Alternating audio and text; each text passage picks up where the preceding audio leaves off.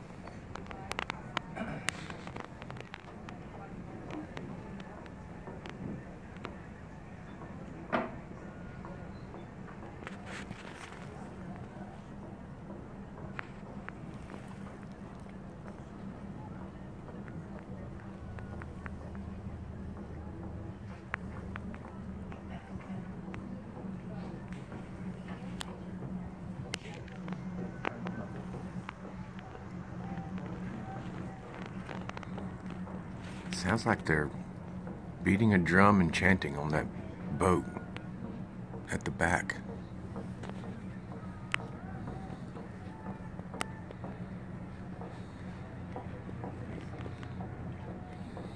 Or the front.